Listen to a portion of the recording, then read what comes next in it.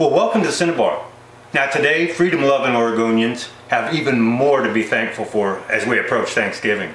You see, just yesterday, Judge Robert Raschio over here in Harney County issued his ruling on the constitutionality of Measure 114, Oregon's flawed uh, gun control measure. His ruling was that it is unconstitutional according to the Oregon Constitution in its entirety and issued a permanent injunction barring its implementation. That's great news for the good guys and we can count that win. Of course, we know that this isn't going to be the final word. The, the state is going to appeal it right away. But for now, we can we can thank Judge Raschio for a well-reasoned and well-articulated ruling here. And he basically took the state's arguments and dismantled them point by point by point in his ruling. And I'm not going to go into every minute detail of this ruling. If you're interested in that, um, Washington Gun Law Channel with William Kirk does an excellent job uh, of doing just that and I'm sure that if he hasn't got a video out yet on it he will where he will go into minute detail on, on the entire ruling. I just want to kind of touch the high points and talk a little bit how, how it affects real Oregonians out here and, and maybe look into a crystal ball a little bit about the future. Okay, so Judge Raschio's uh, ruling basically took apart both arguments that, that the state had or, or on both parts of this Measure 114. And of course, the, those two portions of Measure 114 were the permit to purchase scheme and the high capacity or anything over 10 round magazine ban. Okay, so on the, on the permit to purchase scheme, really his, his major points were that, first of all, the state admitted and stipulated that the permit would take a minimum of 30 days to, to get approval or to get an answer whether it was approved or disapproved. Now, Oregon was sold on the background check system years ago with an instant background check. You could go to a gun store, you could instantly, with, within a very short time, walk out with your gun or have an answer saying no, that you're not eligible to purchase a gun.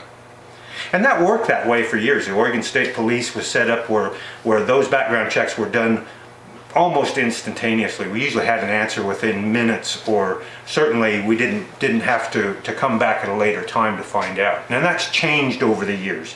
You know, now it's regularly it takes days and sometimes even weeks or when there's a, a, a run on, on purchasing as there was when 114 passed, it was taking months to get your background checks done. Okay, so what the judge is saying is if if people want to have a firearm for their self-defense or defense of their family or their home, there shouldn't be this long delay to get it because we've stripped them of that, that right to defend themselves or to own a firearm. And, and just because it may be approved at some later date, that, that's a violation of that constitutional right.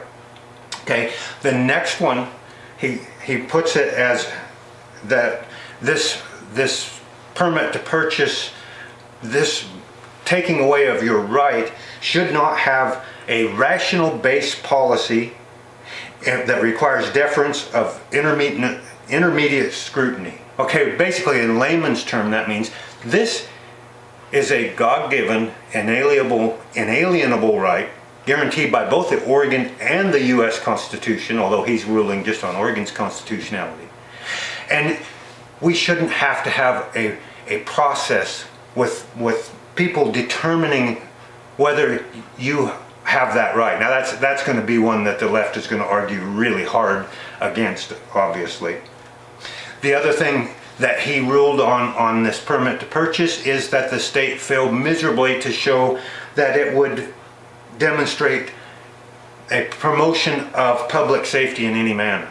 And, and Judge Raschio obviously um, knows a lot more about firearms than most of the, the judges that we see passing down rulings. And, and so he went into detail about um, you know how how we can reload magazines, how how firearms work, um, you know, in in real life situations, and how this this law is not going to promote public safety or enhance public safety in any way, and the state failed miserably in an attempt to show that.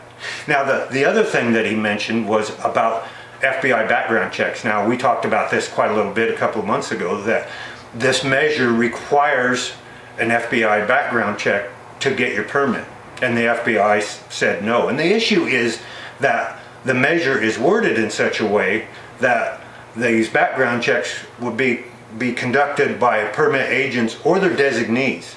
And FBI's regulations on this are very clear that they will only share these background checks with law enforcement. So this, this notion that, that law enforcement permit agents could pass that, that responsibility on to designees who were outside of law enforcement was a real problem. It's written into the Measure 114, so the FBI correctly said that's against our policy, we can't do that. Unfortunately, just last week, the FBI working with, with um, the Department, uh, the F FBI Department of Justice working with the Oregon Attorney General has said that well, yes, it's it's against our regulations to do that, but you know, if Oregon just promises they they they won't do what the measure says and, and share that information or let it outside of, of uh, law enforcement, uh, we'll give you a grace period. And, and so that you can, you can get this thing right and you can change your state law at some point in the future to, to um, make it compatible with our regulations. Um, really a disappointing to see our FBI fail in their mission, this law enforcement mission, and now become kind of a political arm of the current administration, and and and bow down to to this this scheme by the state of Oregon to take away citizens' rights. Um, the the really disappointing part of this is they, they call it a grace period, but they don't give a date out there. So basically, well, if you guys, you know, if Oregon agrees that they won't do what this measure says, and maybe someday we'll change their state law so that it, it's compatible, and we'll just let you go ahead and, and uh, we'll go ahead and do these background checks so that it will pass muster with, with the courts. Um, and there's, by the way, there's no date for it. So even though it's just a grace period, take as long as you like. you you may as long as you promise you'll you'll take care of it someday. We'll go ahead and start doing your background checks. So that that's really disappointing to, to see from our, our FBI. Okay, so Judge Raschio says because of, of and he lists several things, and some of them we've talked about, some of them we haven't. Says that all of these things unduly frustrate the right to bear arms. So if any one of these things had, had um, been deemed unconstitutional, it would have been tossed and Judge Raschio would have tossed it. But he's saying that all of these things uh, frustrate uh, the right to bear arms and are unconstitutional. Now on the second part of this, he, he was very clear as well on a couple of points that are, are really important. And that this is the, the um, high capacity magazine ban. Now the first thing he ruled, which is I, I have to applaud, is that magazines are protected arms. Now if we remember right, uh, Judge Karen Immergut up in, in Portland, the federal judge ruled that they weren't protected arms, that magazines were not protected under the Second Amendment. Judge Raschio says that they are protected under Oregon's Constitution. And, and really, to say that they aren't protected is just absurd on the face of it. If, if you think about magazines are an integral part of a firearm. So if you don't, if magazines aren't protected, all magazines could be banned or firearms will be useless. It'd be no different than saying, okay, um, firing pins are not a protected uh, uh, arm, so we can ban all firing pins, but you can go ahead and keep your guns. Eh, same exact thing. The other thing that, that he mentioned, and, and this is really important, that the way the, the measure is written, that any magazine that can be changed to accept more than 10 rounds is, is banned. Well, pretty much any magazine can be changed to accept 10 rounds, or more than 10 rounds. Even if it's been changed in one direction, it can be changed back. Say you've got a 30 round detachable magazine, you change it to where it, will only hold 10 rounds. Well, obviously if you changed it one way, you can change it the other and can go back to 30 rounds. Or if it even started out as a 10 round magazine, it could be modified to take more. And even, and he points this out, tubular magazines or fixed magazines can be modified to hold more than 10 rounds. And there's a, there's a misnomer out there that, that fixed magazines were exempted and they weren't. Only lever actions with fixed magazines and 22s with fixed magazines were exempted. Um, so any other fixed magazine that can be modified to hold more than 10 rounds is illegal. So that, that gun cannot be, um, is banned under, under this law.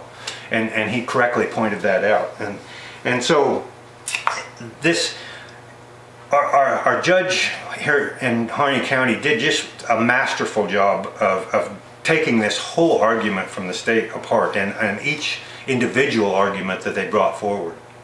And, and so we're in a situation now, we know that the state is, is going to appeal this and we don't know at this point whether they'll appeal it to the Oregon Court of Appeals or the Oregon Supreme Court. I suspect it will probably go to the Oregon Supreme Court. Um, you know, the higher it goes in Oregon's court system, I think the less chance we have of them upholding Judge Raschio's uh, ruling. So I think there's a, a, fair chance that this will be overturned at some point. And we have to thank Judge Raschio. He's taken his time. You know, this should, was supposed to be implemented almost a year ago. Um, he's given us a, a lot of time here to, to avoid this ridiculous set of laws. And, and so, but now we, we've kind of, we've got through our, our grace period here and we've gotten a, a, favorable ruling. The nice thing is, is that because he has so very clearly and very well um, dismantled all these arguments from the state, uh, you know, the, this, the, any of the court systems that it goes to now, the appeals courts it goes to now, are going to have to deal with how do we explain our reversal of this well thought out and, and rational uh, ruling that's come out of Harney County. So enjoy your holidays. It's a win for the good guys. Um, but of course we know that the fight's long from over. So keep up the good fight. Until next time, happy trails from the Cinnabar.